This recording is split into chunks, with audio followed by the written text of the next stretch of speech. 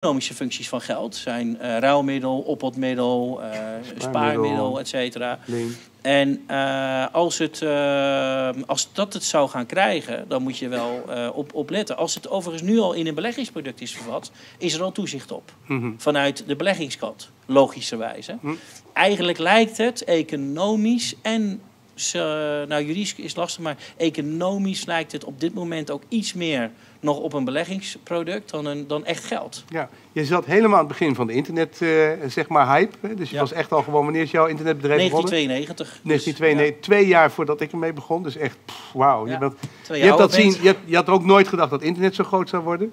Heeft bitcoin dit soort kansen? Omdat het, op een, eh, omdat het ook schaalbaar is, omdat het ook op een, nieuwe, eh, op een heel nieuw systeem is?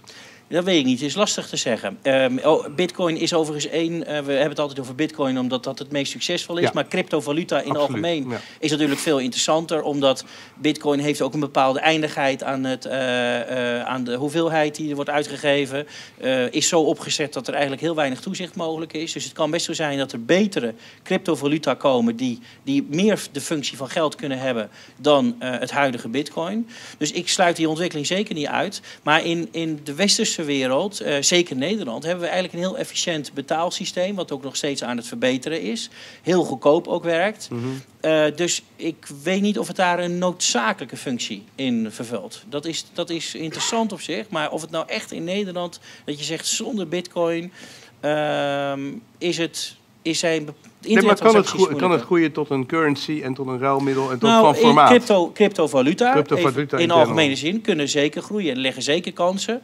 Eh, maar dat zal dan niet als de vervanger van het geld zijn, denk ik. Want dat is toch met het alles, de waarborgen die eromheen zijn, ook voor de consument. Ja. Het depositogarantiestelsel is er niet voor cryptovaluta.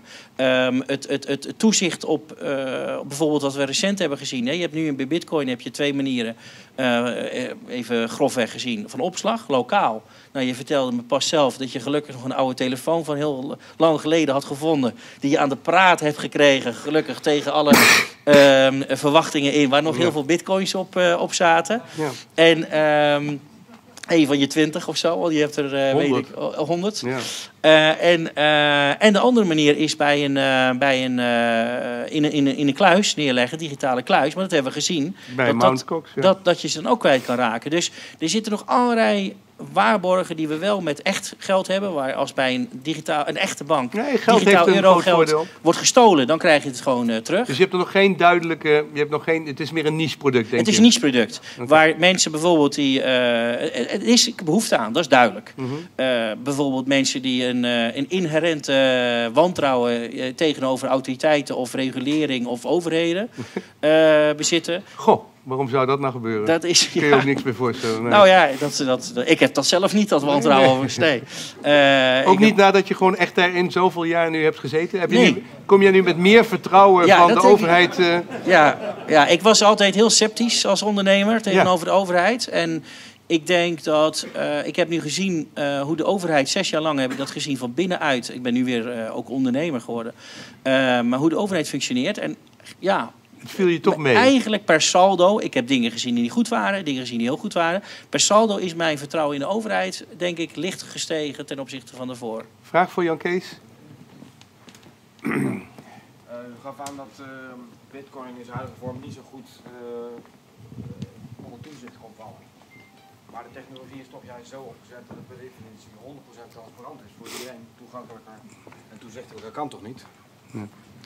Nou, dat, dat, is, dat is de vraag. Voor een deel wel. Maar neem eh, het voorbeeld van eh, een grote digitale kluis. Die, het geld, die hebben nog steeds niet eh, duidelijk gemaakt eh, wanneer dat precies was gestolen. Of alles is gestolen. Eh, en dat, terwijl het al maanden weg is nu het geld. En misschien is, zijn nu de geruchten, is het al bij die allereerste hack ooit daar, is het toen al gestolen. Ja, dit kan, dat, dat kan onder, in, bij een echte bank zou dat nooit kunnen, zoiets. Ja, dit is toch amateurisme van de bovenste plank. En als je het dan hebt over een paar euro, maar dit gaat om, om, om verschrikkelijk veel geld. 100 miljoen. Maar dat is natuurlijk een zaak van dat bedrijf zelf, dus dat is eigenlijk helemaal los van bitcoin. Hè, als er een bedrijf is die eh 100 miljoen aan cash geld eh, ermee vandoor gaat, ja, dan doet de euro daar ook niks tegen. Hè, dat is een zaak van het bedrijf. Nee, maar dan is het de vraag of een financiële instelling zeg maar, de vrijheid heeft om zoveel geld van anderen kwijt te raken. En dat hebben ze dus eh, gelukkig in Europa voorkomen eigenlijk. Ja, want als je, als je een financiële instelling in Europa bent die euro's opslaat voor klanten, dan val je onder toezicht. Ja. En, en, dan, en ook, en dat is heel streng toezicht. Dan moet je bepaalde. Dan kun je zelf niet failliet. Ja, je kan failliet gaan en dat willen ze dus ten alle tijde voorkomen. Daardoor moet je hele hoge buffers hebben. Dat soort regels hebben we dus niet voor instellingen die, die bitcoins eh, bewaren. Dus het is heel denkbaar dat er nog andere scenario's mogelijk zijn. Dat zo'n instelling gewoon om een andere reden failliet gaat. En dan dus de bitcoins die daarop zijn geslagen, dat er een juridische strijd ontstaat van wie die zijn en of die gebruikt kunnen worden in het faillissement. Nou, dat hebben we allemaal niet bij, eh, bij banken. Dus als je dan zou zeggen van eh, dat is je eigen keus, dan dat is prima. Maar de Boven de 50.000 euro mag dat toch? Eh, eh, in, in Nederland, nou ja, dat is dan is het de beleggingsproduct. Belegging- Precies. Nee, maar als je, als je dat weet, dan, dan is het prima natuurlijk. Maar dan moet het wel heel duidelijk zijn dat het een riskant beleggingsproduct is.